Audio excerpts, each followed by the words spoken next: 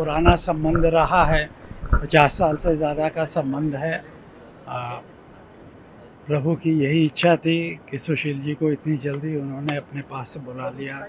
आ, नहीं तो अन्यथा उनके जैसा जो जुझारू सहिष्णु विचारशील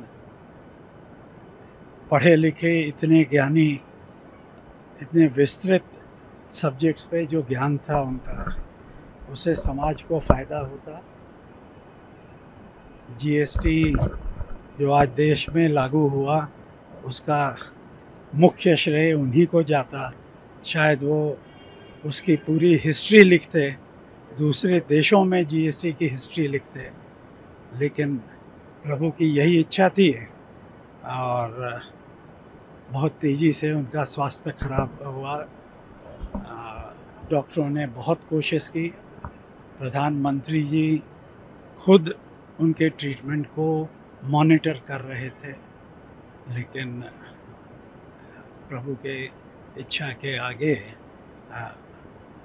मनुष्य बेबस है लाचार है और उनके आदेश को मानना पड़ता है।